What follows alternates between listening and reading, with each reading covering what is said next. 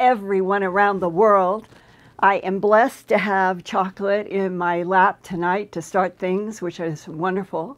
And we broke through 183,000 subscribers this week.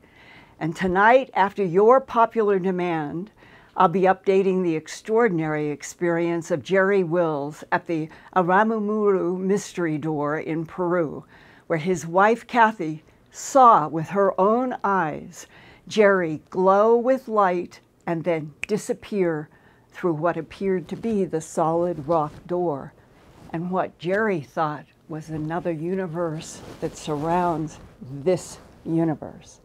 I'm going to put chocolate down and we're going to dive into this. And I'm going to start with what is interesting to me is a sign that public interest in extraterrestrial intelligence keeps growing. The latest August of 2021 Gallup poll shows that, quote, 41% of adults now believe some UFOs involve alien spacecraft from another planet.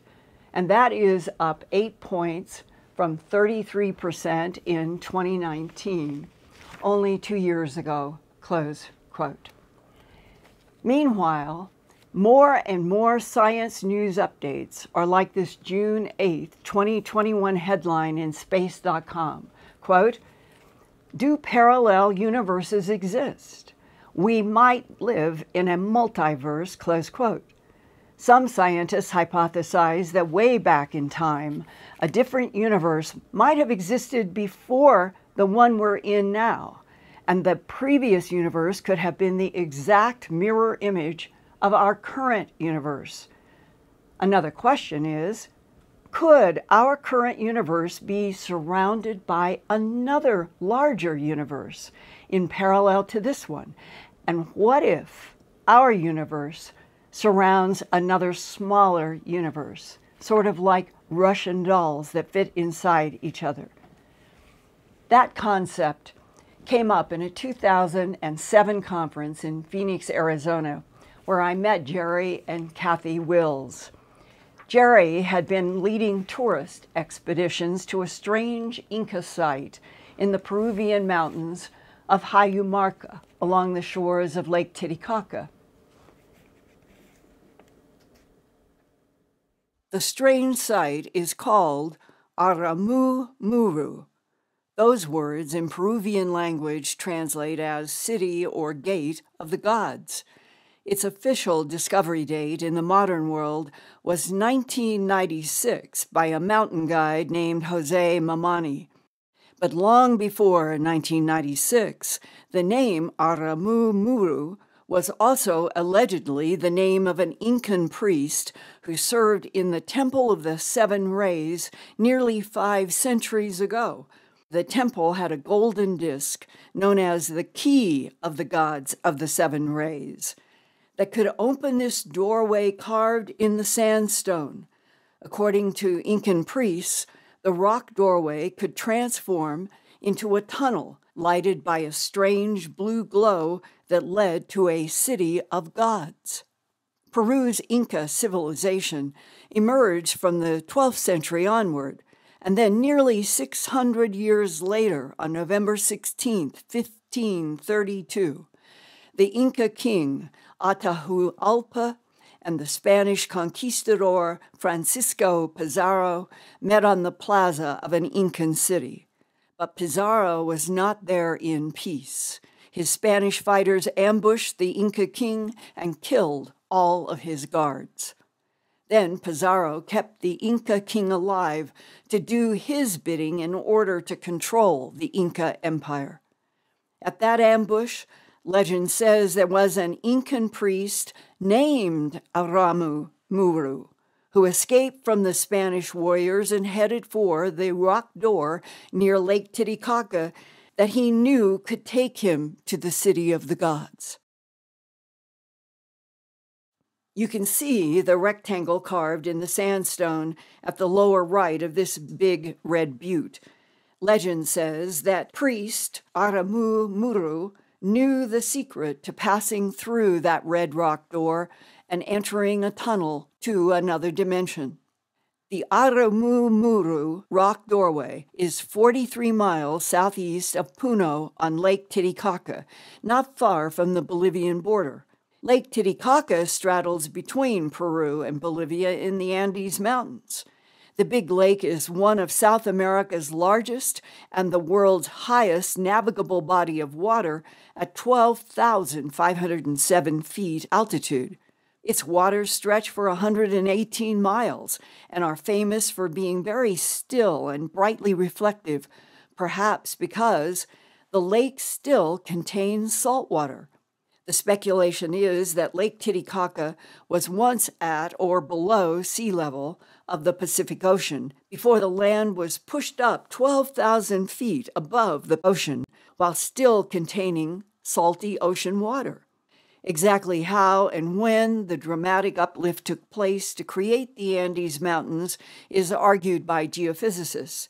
But according to recent studies of helium 3 created by cosmic rays in minerals at the Earth's surface, most of the Andes Mountains, including Lake Titicaca's salty ocean water, were already 12,000 feet high at least 44 million years ago. For the ancient Incans, Lake Titicaca was where the universe began, where their god Viracocha emerged, where the world was born, and where their souls return after death. Some local residents on Lake Titicaca are afraid to go to the Aramu Muru doorway because of strange UFO lights reported there and rumors of people having disappeared when close to that rock doorway.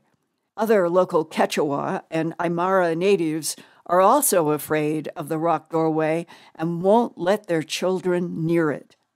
The T shaped alcove is cut into the solid red sandstone about two meters high, or near six feet, and only a few inches deep into the rock. Local shaman call Aramumuru a dimensional portal that has long transported Incan priests throughout the ancient Incan Empire, and perhaps to other planets in this universe, or even to a different universe. Local Peruvians, who are not afraid of the rock doorway, revere the site and say it is where life was first created on Earth. Other eyewitnesses claim to have seen strange, very tall men, accompanied by glowing spheres of light, walk right out of the solid rock door onto the ground, and even then walking on to Lake Titicaca. One of those tall men who disappeared in glowing light at the Aramu Muru rock doorway is Jerry Wills. He is very tall, six feet nine inches, the date was November 11th, 1998, at 11 p.m. local time. Jerry and his wife Kathy were newlyweds, and Jerry was at the rock doorway because he had been trying to understand his strange life and strange places in Peru. Jerry Wills was born an orphan in 1953 and was left to die alone in a cold Kentucky farmhouse but he was rescued and adopted by a Kentucky family who had a farm.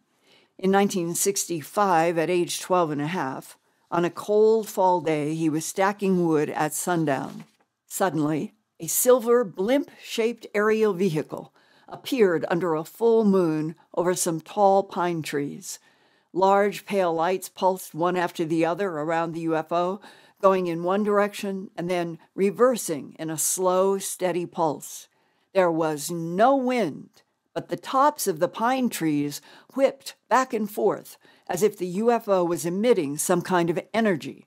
In his mind, Jerry Wills heard a telepathic thought voice from whoever was in the silver craft say that the unseen visitors would return to meet Jerry again in the future. A year later, in July 1966, Jerry was face to face with a tall, blond haired, blue eyed extraterrestrial man named Zo. Zo said he was from a humanoid civilization on a planet orbiting the star Tau Ceti, about 12 light years from Earth. There were several face to face meetings over a five year period and a trip aboard a silver spacecraft that Jerry Wills took in which Zo controlled the craft with hand imprinted panels directed by his mind. Zo became a teacher to Jerry. One of Zo's teaching tools was a four foot by four foot black cube that holographically projected the Milky Way galaxy and other parts of the universe, showing different stars in different colors. As Zo pointed out star systems, he telepathically told Jerry Wills humanoids are all over this universe and beyond in other dimensions. Another teacher in Jerry's life was a Peruvian shaman named Pedro. He told Jerry about the doorway of Aramu Muru at Lake Titicaca. Pedro did not speak English, but through the Aymara language translator, Jerry learned from Pedro that the Aramumuru doorway was a two way passage between worlds and dimensions. If you knew how to chant a specific tone over and over, the doorway would open and the chanter would disappear into other realms. Also, Pedro had seen what he called ancient ones come through that doorway. Those beings were very tall, like Jerry's six feet nine inches, and dressed in regal garments. Pedro also knew that the tall ancient ones would kneel in front of the doorway and start singing with their forehead against a small circular depression in the rock door, and then suddenly they would disappear. Listening to Pedro, Jerry wanted very much to see and find out for himself. By November of 1998, right after his marriage to Kathy, the couple traveled to Peru and to the Big Rock of Aramumuru Doorway, where Pedro taught Jerry Wills how to make three different tones that were to be kept secret. Pedro told Jerry that if he could learn to produce the tones correctly, he would go through the rock door to where the quote, tall ancient ones came from. Jerry described for me what happened on November 11th, 1998, as he kneeled down before the rock doorway and began to mimic the tones that Pedro had taught him. You're kneeling there in the doorway and put your forehead on it. It'll be very hard to breathe. Your eyes are closed. You're going to feel like you're falling. That third tone, you have to do this over and over until you get it just right. But suddenly, that feeling of falling, you really are falling. You're somewhere else altogether. Explain it. When I kept falling and I opened my eyes, I was just falling through this darkness and I was absolutely freaked out. There were stars and nebula, and I guess they were stars. There was pinpoints of light, some larger, some smaller, things racing past me with streamers. It was like looking at images in the Hubble telescope. It was like I was in a bubble. I could look all around. I was just floating in this bubble. There wasn't a sense of gravity. There wasn't a sense of me moving, except everything around me was moving. So I'm thinking this is pretty wild. And then it felt as though I was moving through something. I could sense that there was an impedance there. I squeezed my eyes closed because it was just so much pressure. It was hard to breathe again. And then suddenly, I find myself on this floor. I guess it's a floor, but it was just a big white, everything was white. You couldn't tell if there was a wall to the floor, to the ceiling, nothing. There wasn't any curvature, there wasn't any distinguishing aspect. Everything was equally luminous. Stood up, tried to get my bearings, and there was nothing to see. It was just like in a big white cloud. Well, this was a point of confusion and some anxiety because this wasn't like anything I'd ever heard of hallucination being like. I could stomp the floor and feel it in my foot. It felt like plastic, didn't feel like concrete or metal, very dense, thick. The closest thing I can say it was like was Lexan, perhaps. I decided to try to see if there were any acoustic properties. So I started whistling high notes, low notes. It just was dead acoustically. So then I started hollering. You know, is anybody here? Where am I? Hello? And I still wasn't walking. I wasn't moving. Figured the best thing I could do is stay where I'm at. And it was just about second time that I hollered that there was this voice, and it was like it was coming over an intercom. You know, when you think back in school and they make an announcement on the intercom, it's kind of a high pitched kind of sound. It lacks the characterization of normal human voice. It isn't a full spectrum of sound, it's just a narrow bandwidth of sound. Anyway, this person's voice came on. It was a man. And he sounded a little surprised.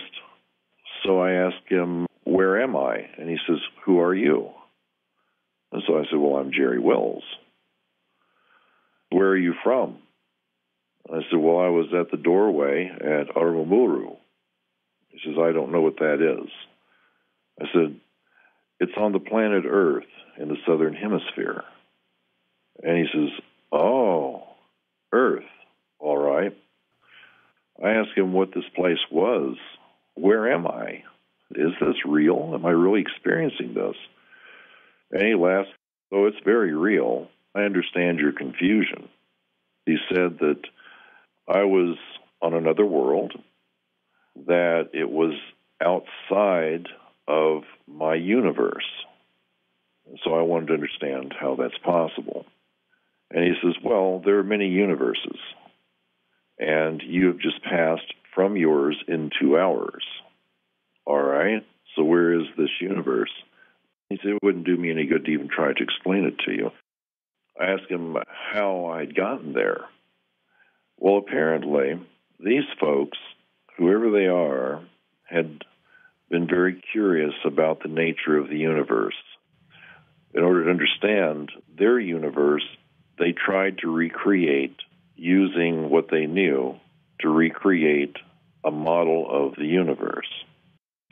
But what had happened is that when they had recreated this, their creation had started to evolve. It had evolved up to a point to where it stopped growing. It was quite large, and that they had created another universe inadvertently. They weren't planning on doing this. And it had evolved, and it evolved quite rapidly. I said, Well, I don't understand this because we think the universe is billions and billions of years old. He says, Well, where you are, you measure time much differently. Time is different in every universe.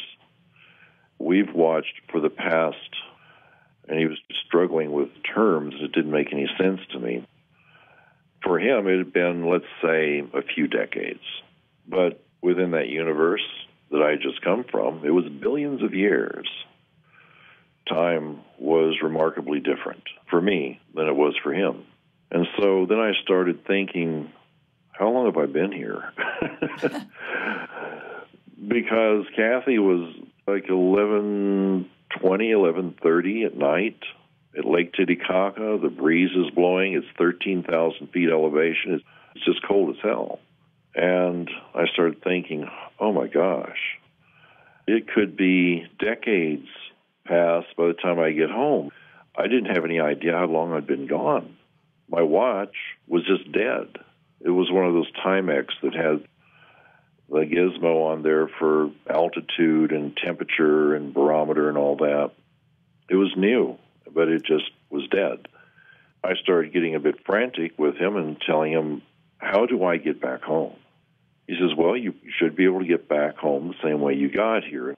And I said, I don't think that you have a doorway here. I don't see anything. It's just all white. And he says, Well, it's just all white because the chamber that you're in. And he says, We can help you get back home. Don't be afraid. I said, All right. Then what do I need to do? Because I really need to go right now. And I explained to him, Kathy is there waiting, uh, and if I'm really gone, then she's going to be really afraid. And the other people that were with me are going to be equally worried. He says, All right, turn to your right. Now just start walking forward in a straight line. And I started walking forward. And it's like I went past a wall. As I came around, he says, All right, You see that in the distance, probably a 100 feet from me. He says, Just walk towards that. It was this large, black, gelatinous looking thing just floating in the air. It was black, but you could see all these pinpoints of light. It was peppered with light and dark areas. And I said, What is this? And he said, That's the universe you came from. Well, this thing, it had these rods that were luminous, like neon. There was little beads of light moving through them, kind of like a fluorescent bulb, you know, overhead fluorescent that gets bad and has like little dark areas moving through it, except the dark areas were a different color. Some were yellow. I'm holding in my hand the illustration that you emailed to me, and mm-hmm. my first reaction was, You are the figure in the foreground. Right, about 100 feet away from that thing. Did you get telepathic communication from the male voice about what the rods are doing with this gelatinous cosmic mass? Well, the rods, they're around its perimeter. Didn't even look like they were connected to anything. They didn't seem to have any reason to be placed the way they were placed. It was very abstract. I said, These light rods, what's that? And he says, Well, that holds it in place. It maintains the balance. And we think that's the reason why it stopped evolving. So, did they deliberately try to stop the evolution of this universe?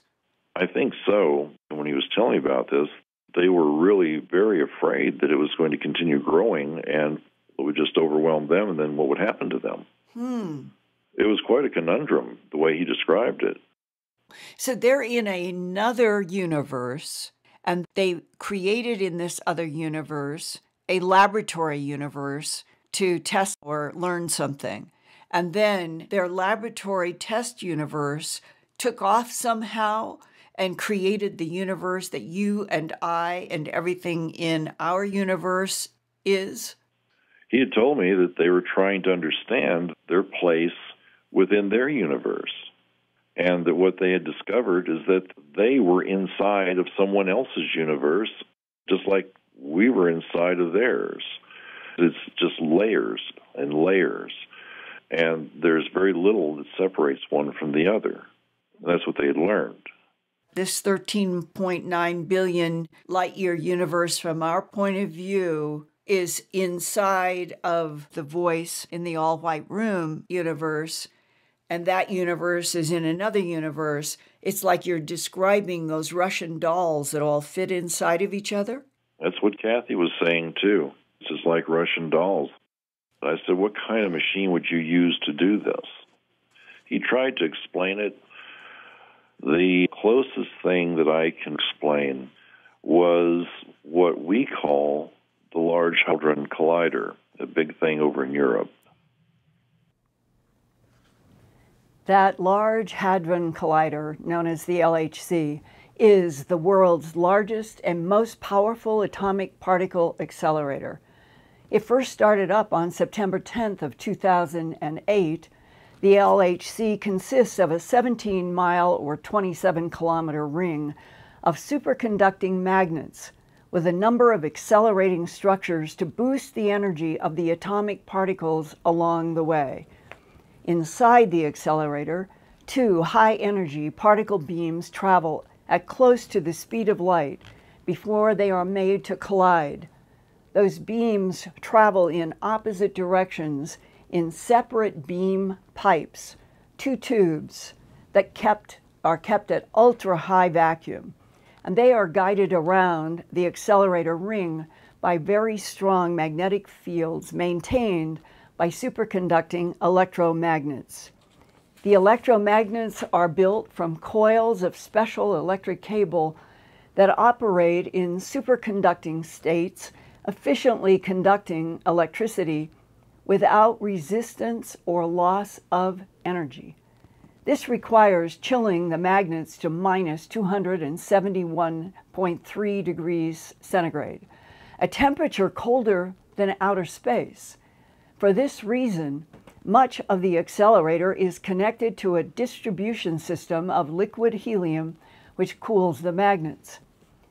Physicists say that this work could transform our understanding of this universe that we are in, and that maybe we will even discover that we are in a multiverse of many other real universes in other dimensions.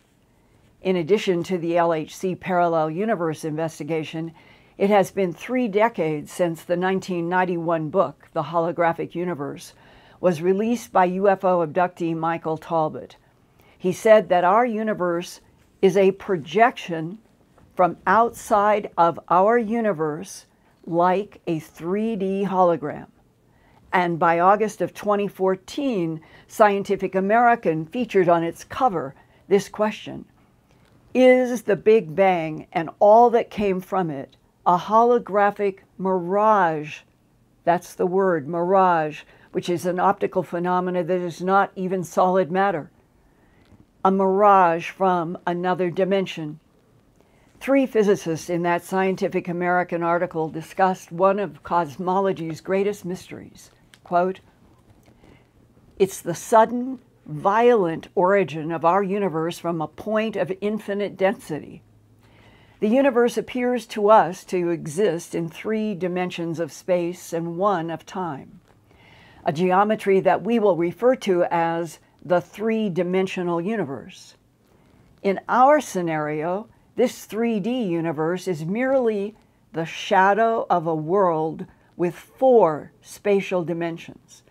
Specifically, our entire universe came into being during a stellar implosion in this supra universe, an implosion that created a three dimensional shell around a four dimensional black hole. Our universe is that shell of the black hole. Close quote. And could that stellar implosion be the spark of light that the other universe voice told Jerry Wills surprised them in their experimentation with creating a laboratory controlled universe, but that it kept growing beyond their experiment. It was four days ago, on Sunday, August 29, 2021. I called up Jerry Wills and I asked him if he would give me his current thoughts now on our part one recorded interview from 2016. I played it for him fresh and then he gave me some amazing insights right after that were recorded. And I'm going to share some of his comments now, just fresh, with you now.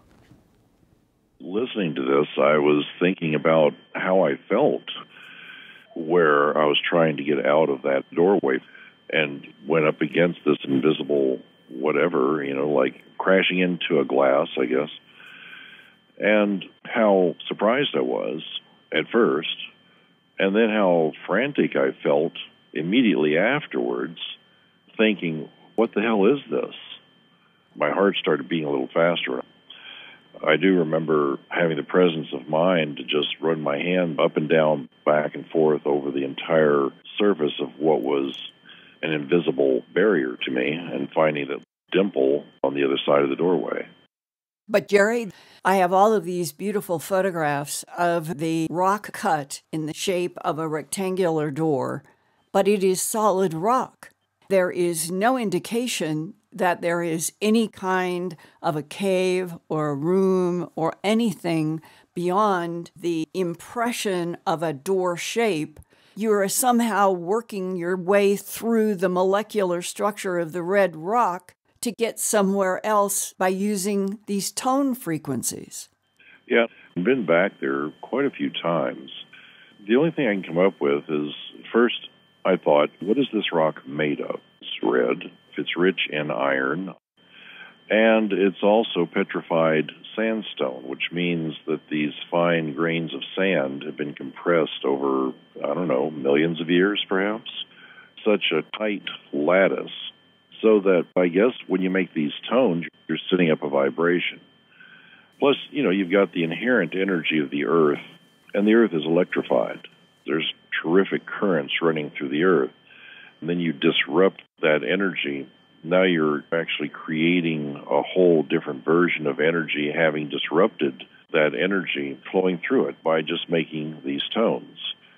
How these folks figured out how to use such a thing as this is unexplainable. The whole thing is really, really strange. You know, this is petrified sandstone set up on end. This shelf is, I'm guessing, somewhere between 50 and 80 feet thick at its thickest, tapering off to just the top. I've climbed up on top of that with people, and without exception, every time we've gone up there, batteries and cameras died. I've had so many people saying, Tell me what those tones are, please, please, please.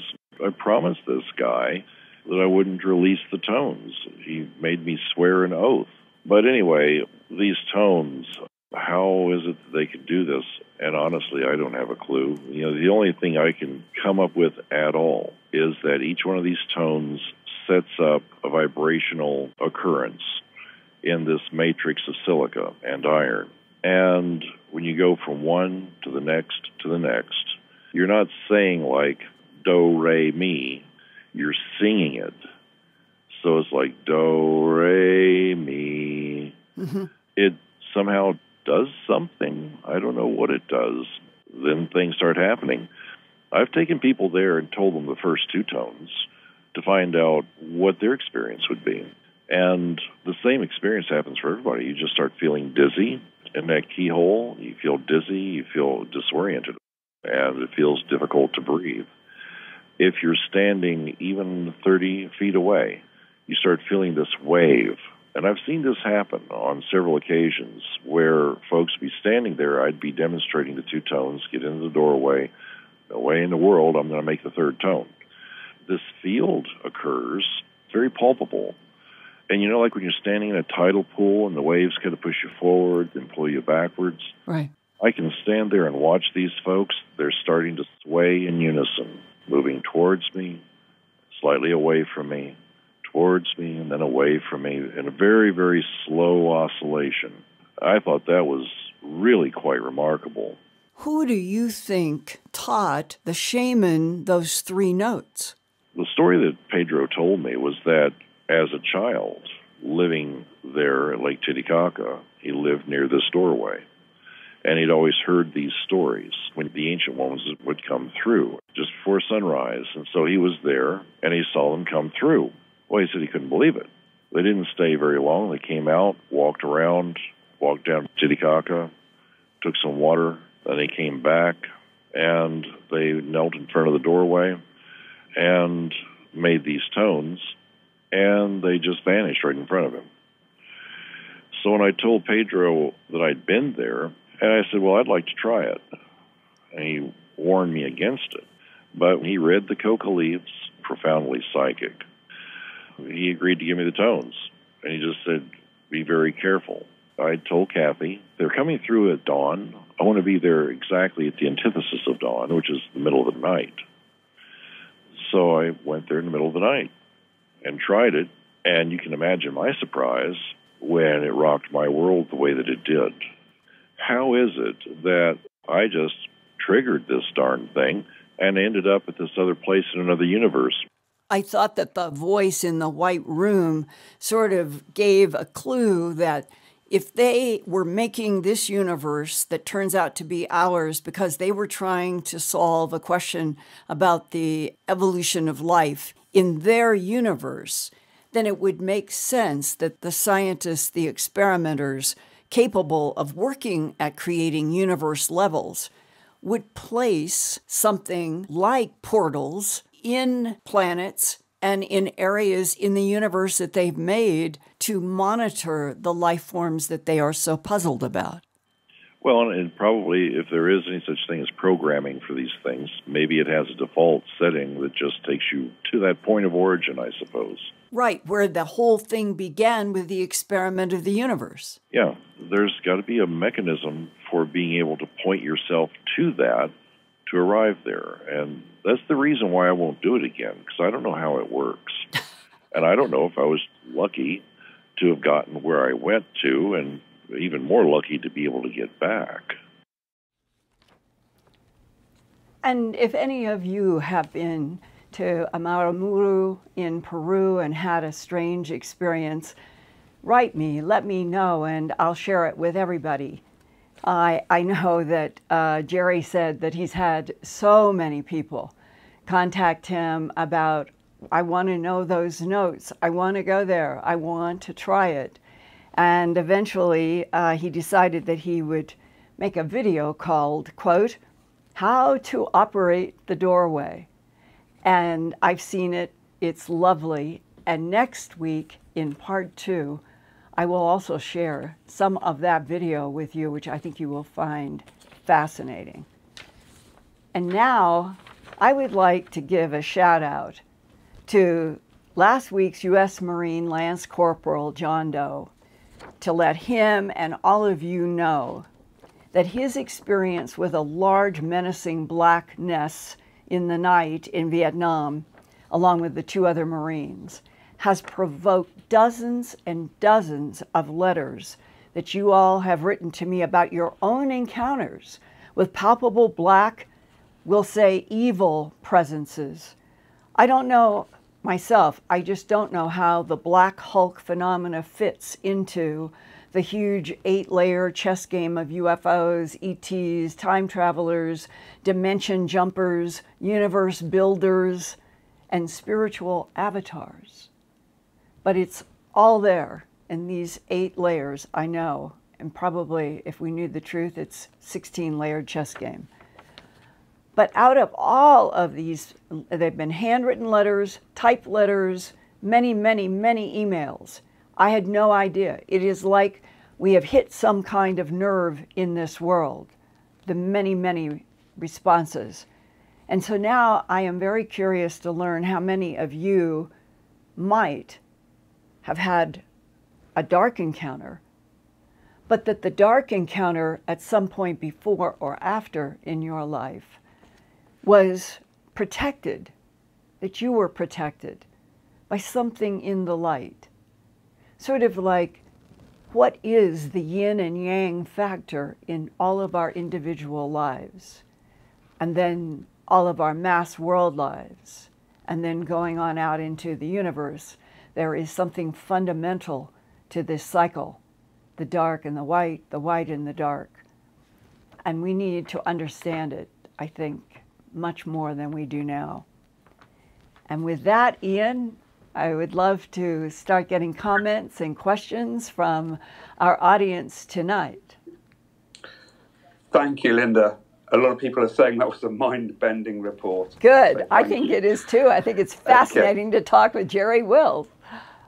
Yes, people loved it. Here's the uh, super chats anyway. Thank you very much, everyone, for your generosity. Moonbird, Teresa Bass, Kimball, Chrissy Ma. She actually uh, sent two super chats. Wow. Sergeant Cadet, Eric Ackley, Mark Petrie, Bob Regal, Diane Schroeder, Whisper of Love, Akashi Chris, Tate, Leon Kennedy, Sean, your hero 17, UFO Mark, Andreas Mitchell, and Justin Davis. Wow. Thank you, everyone. Thank you all so very, very, very much. And I am very eager to hear if there are anyone listening tonight who has had an experience at Araramuru and would share that with us. And I think this is sort of the way that we can keep weaving our own experiences into helping teach each other and my uh, trying to guide through uh, journalists' uh, efforts. And uh, tonight, I'm curious if there have been any comments in from anyone saying that they were in Peru, that they did go to that rock gate, and did they, uh, has anybody had an, a strange experience? Well, I've been asking people if they've actually been to Aramu Muru, uh, the Gate of the Gods. Uh, several people have reported that they've been to uh, Lake Titicaca and have experienced, uh, you know, they've uh, they've said that it's a place of uh, very high strangeness, etc. And other people have seen strange rock formations under the water while they've been whitewater rafting in some right. sort of area in in that area, I believe. But uh, I, I, believe, you know, if we hold out, some people might come forward and have actually been to that doorway itself. Well, Jerry is an extraordinary human with a voice that is so compelling uh, that it penetrates in a way that you know that he is describing exactly what he experienced and that it has such a long haul of over five centuries of stories similar. That's one of the reasons that I think everybody should pay attention to this. This isn't something that is just 21st century. It goes all the way back into the Incan world of the 12th century on up. And what is that about? And portals. In my Antarctica documentary with Spartan 1 and Spartan 2, Spartan 1 talks about his own portal walking, that we have portals. Either they have been shown to us, we have discovered them, that uh, they, they have been built in collaboration with other intelligences, and we have used the portals to move, remember, from Gakona, Alaska to Hawaii.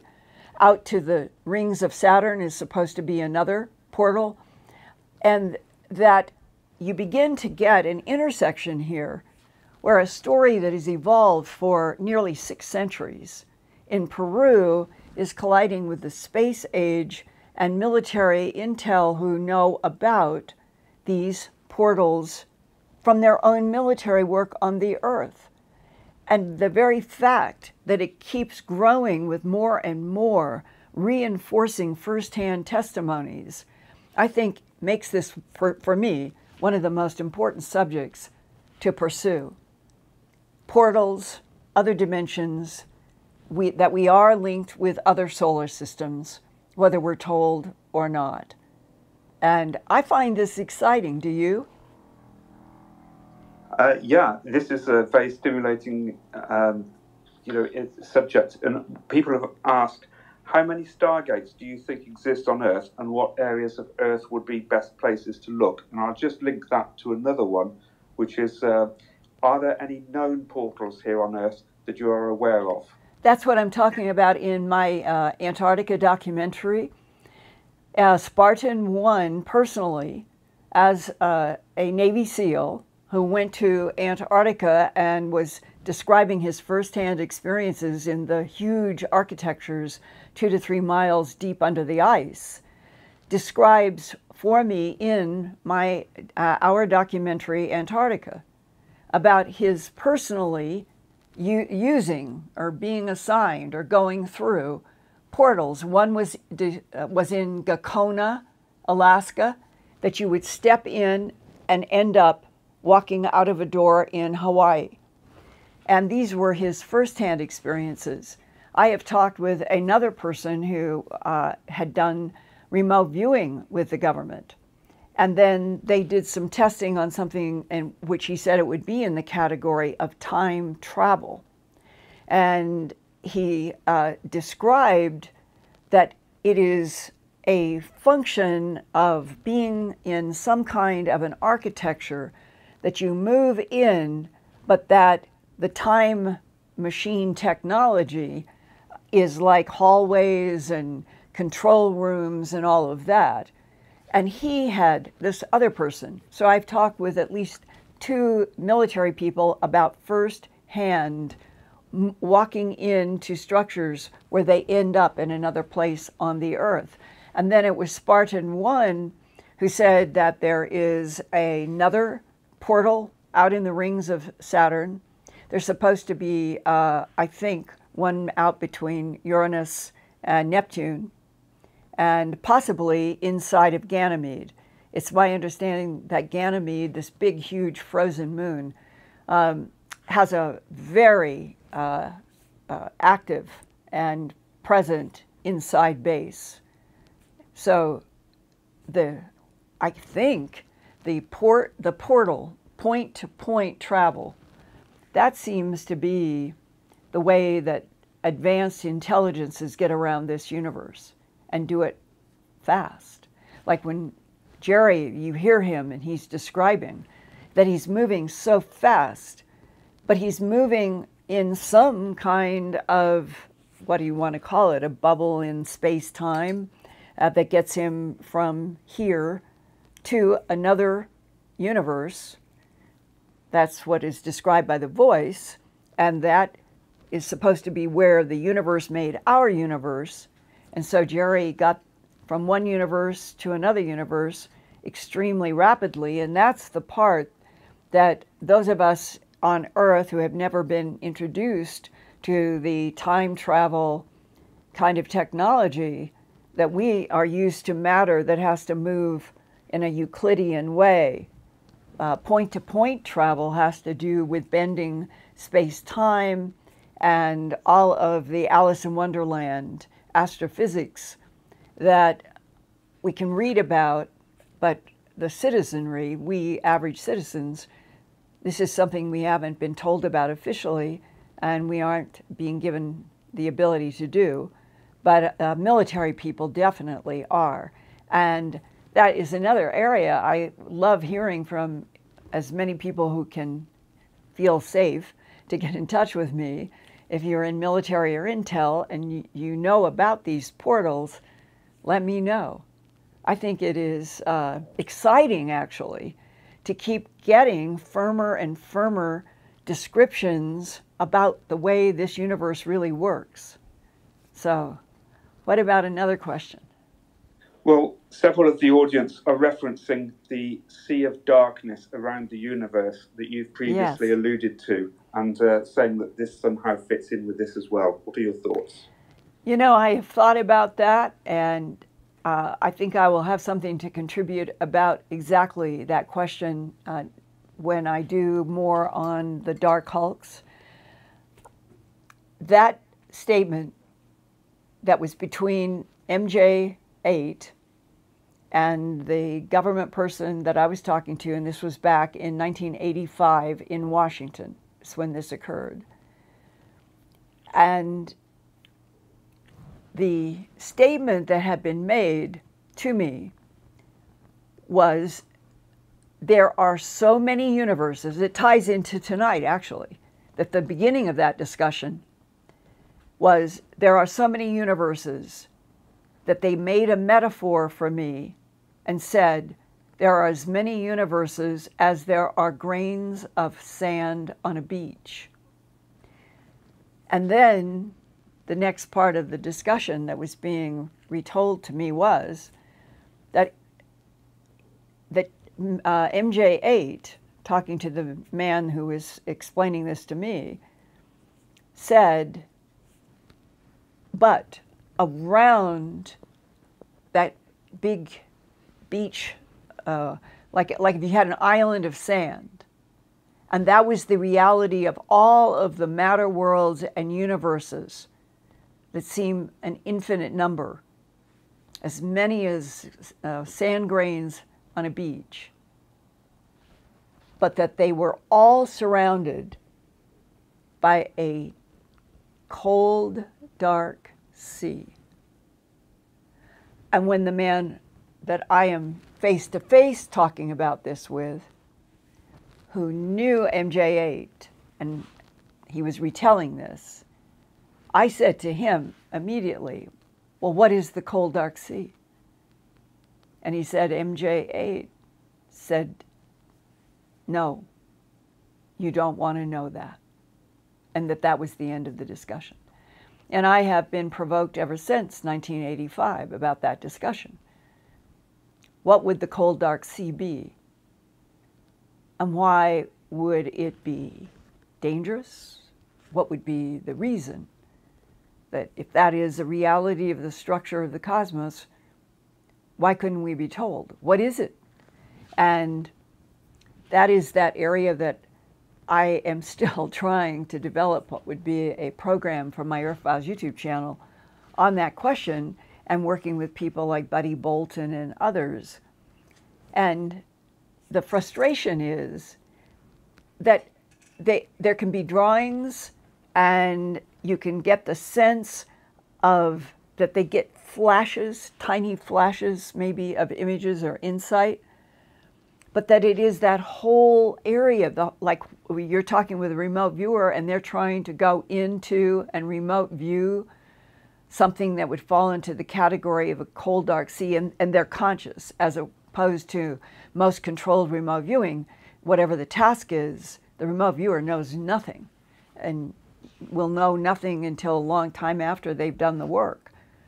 But in this case, we're trying to work as a hybrid where you would have talented people who have done successful controlled remote viewing. Can they actually go and try to access something that fits in those words, a cold, dark sea around all of the universes that exist? Why is that not approachable, I guess is the word. So I am I'm very uh, very provoked by wanting to learn more, but I also feel that almost more important, I want to know about the positive things in the universe and all the universes. I want to know about all the positive things in the other dimensions. I want to know how the divine field of frequencies and going through 5D dimensional, 4D dimensional, 3D dimensional us, that there are these relationships, levels. Jerry and I talked about it. He said that, that the surprise to the voice, where he was in that all white place, was how little separation that there is in any structural way between the dimensions. If there can be all kinds, apparently, thing that you can have breakthroughs, but that the key is always frequencies. The key is always frequencies. What do you concentrate on? What is the frequency for the existence of matter in this particular universe? And that what I've told you, I wrote down, oh, two years ago as a guess of something that came to me one night. I woke up with this, and it was, I wrote this down next to where I was. Because these are the kinds of things you should do. I've done it all my life. If you wake up and you have this thought and have a sticky note and you just write it down. Well, the more that things have evolved in the last two years, in spite of pan, uh, the pandemic and everything, what came out of that waking up was this universe. This is an organic consciousness experiment. And that implies that in that infinite sea of all of those grains of sand, where every single one is a different universe, imagine every single universe is a different test, a different operational relationship. This is a universe where organic consciousness is the experiment. And I suppose that then it implies that there would be universes that there was nothing but non, it would be inorganic. Hard to comprehend, but. And it's at this level that that voice would be relating to all of these pieces the cold, dark sea, an infinite number of universes, every universe different for different reasons. And we're having a hard time understanding how to live on this one beautiful planet and live in collaboration with it so that our lives can be sustained, the lives of the creatures here on this planet with us can be sustained, and that the life of the earth can be sustained. And we're finding out how difficult that is. Another question, Ian? Well, you preempted the uh, next questions because uh, there's a comment here from Greg says, music and math are the main languages of the universe. I so, agree. I agree completely. Yeah. Yeah. And, Another and, one here and remember, is, uh, yeah, remember Ian Paget, uh, who is the, the man who was beat up in uh, that uh, karaoke, karaoke uh, parking lot. And when he became conscious in a hospital, he couldn't see anything around him not the people, not the walls, not the ceiling, not the bed, not anything except as fractals, colored fractals, the math of fractals. I was just referencing that before we went on air to another person I was talking to yeah. earlier tonight. Uh, someone else has said, Are the tones similar to tones used in Tibetan meditation, thus traveling through dimensions? Tones that Jerry used. It is a really good question, and my own intuitive sense is that the Eastern uh, religions, philosophies, arts have always stressed tones uh, the tonality of, for example, the Chinese and Japanese languages. Uh, they're all based around understanding having to do with up and down frequencies. And that the, as Jerry, as you heard in tonight in part one, he was trying to compare that in, in the most simple way, if you went do, re, mi, and if you applied a frequency to Do, to re, and to me. It's not going to open that rock door if you talk it. It's not going to open that rock door if you clicked it like binary code uh, or ASCII. It's not going to open that door if you whispered. It, the door, the way Jerry described it, and the way Pedro had taught him. It was only in the frequencies of the human voice singing those three notes. Now, I have to assume that all over this planet, Mars, other moons and planets in the solar system, who knows how many portals, who knows how many Aramumuru, that's, by the way, I wanted to say that, Ian, it's one of those words that your, your mind and your voice keep changing it, but I went uh, to one of those pronunciations and it's Aramu Mururu. It's uh, roll your R's in it. And it's this, um, it's this whole field where there are scientists who devote their lives to studying the impacts of frequencies.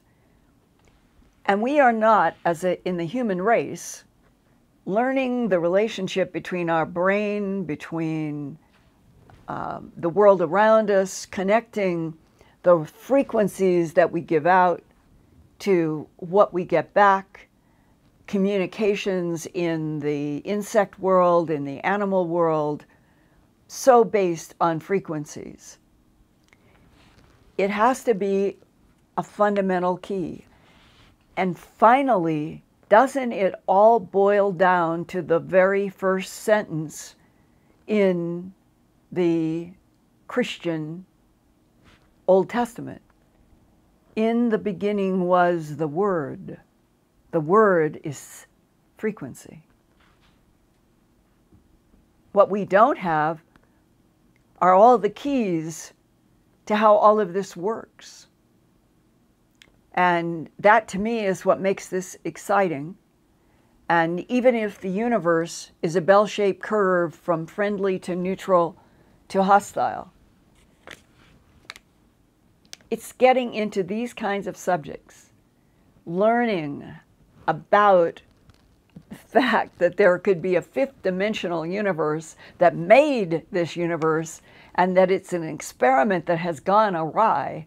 And they are concerned about what their experiment in this universe is going to do to their universe. Well i find that exciting. It doesn't make me want to lie down and cry. It makes me want to, to learn more. Do you feel that way do you guys feel that way?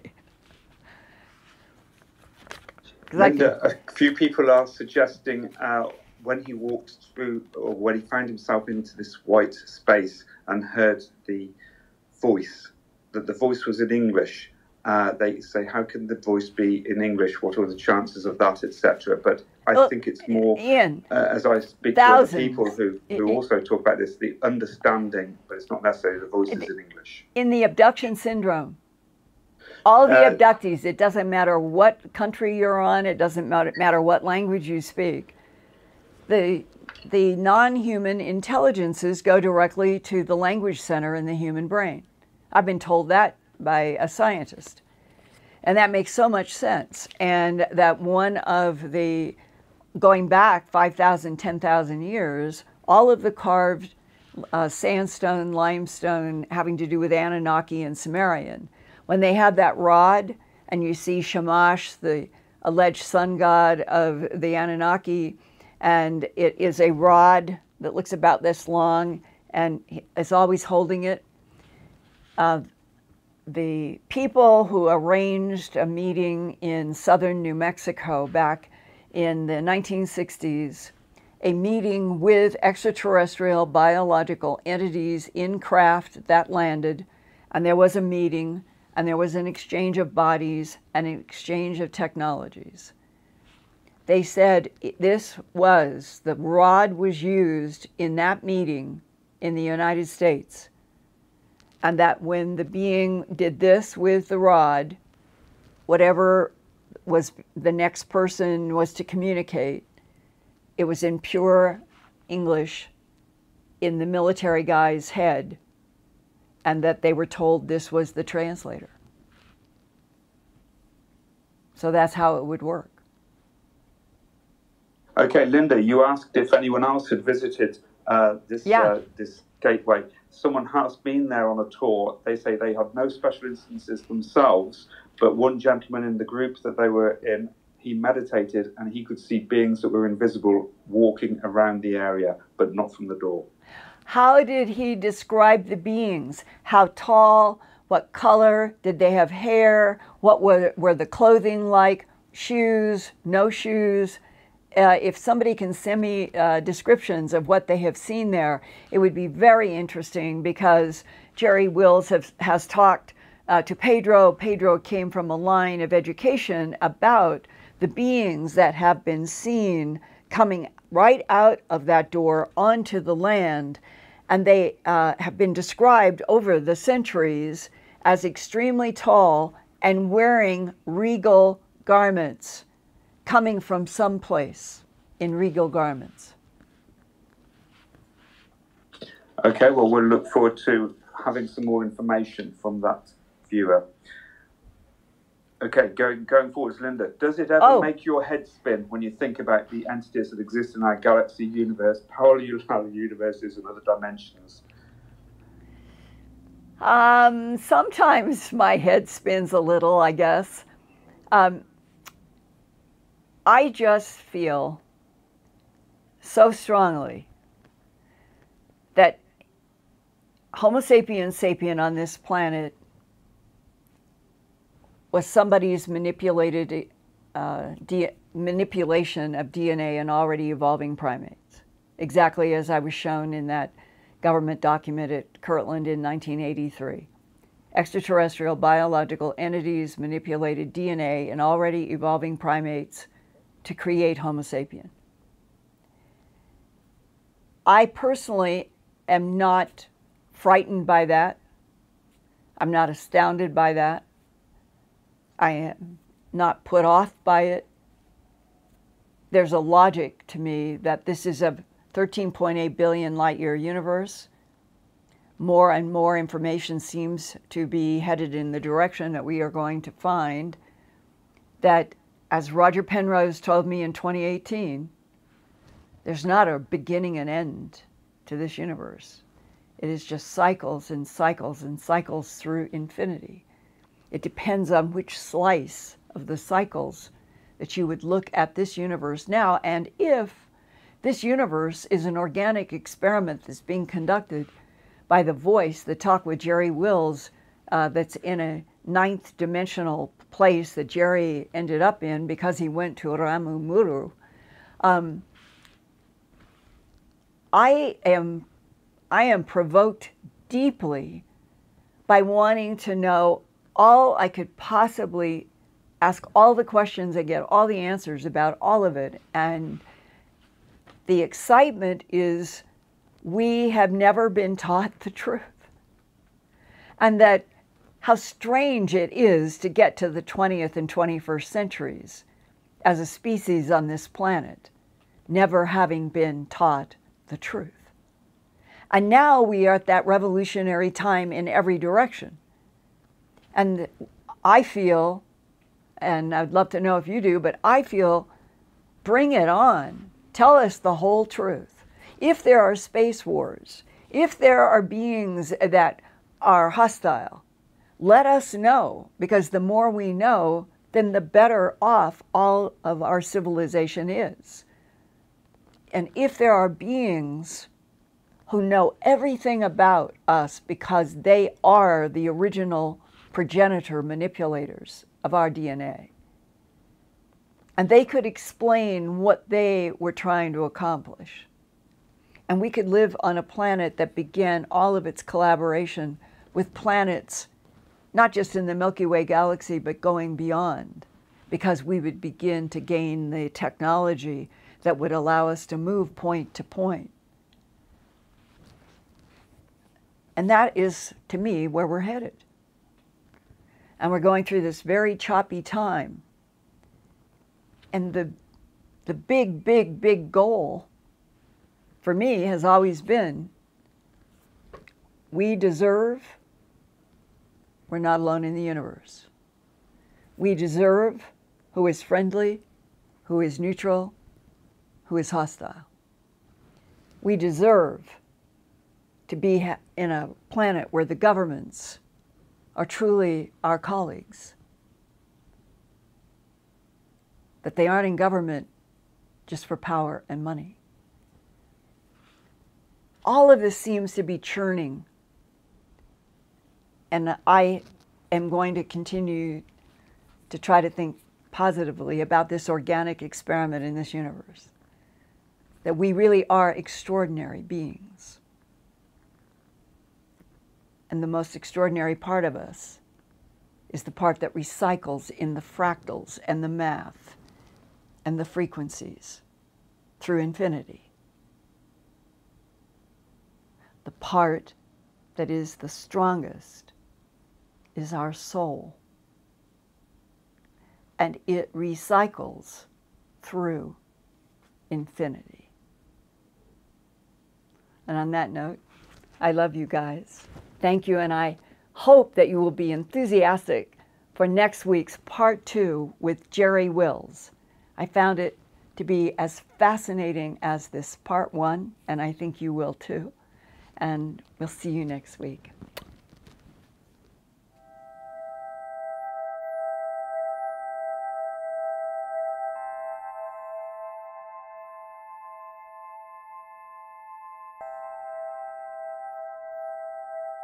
Turn on closed captions for YouTube videos by clicking the white CC button on the lower right. The default language for Linda's videos is English. If you would like to see the captions in another language, click on the white Settings button next to the CC button. Select Subtitles CC and then select Auto Translate. Select a language, uh, bind them anywhere, they load and the captions will now appear in that language. Sort of gone through, and they will hold their heads. I never had a cat do that before. And they'll pull against the comb, helping me get out snarls. And I think it's the best they've ever been.